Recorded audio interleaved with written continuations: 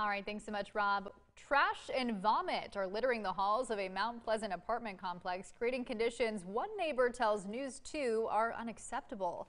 News 2's Forrest Tucker spoke with the concerned neighbor who says she has been seeing these issues for months. Neighbors here at the Boulevard Apartments in Mount Pleasant are paying thousands of dollars in rent, but are staying in conditions that one neighbor calls trashy and smelly.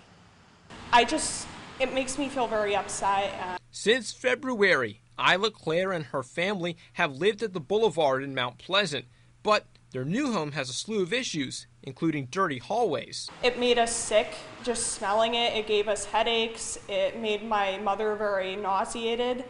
Overflowing trash dumpsters. I do not see a trash truck very often here. And a lack of security. Claire showed me that many of the doors aren't locked. The growing list of problems makes her family feel uneasy.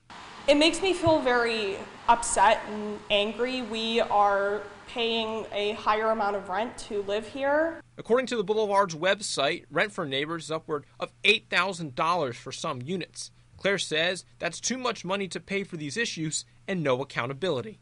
They do seem to blow us off. They sweep it under the rug whenever we complain or let them know of an issue. She wants the management to power wash the hall and stairways and clean the trash, or they'll use their last resort. I want them to actually address the issues here, or we are going to look into cutting our lease.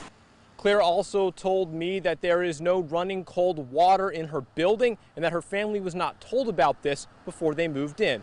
Reporting in Mount Pleasant, I'm Forrest Tucker. Count on two. We have reached out to the Boulevard and Greystar Management for comment and are waiting on a response.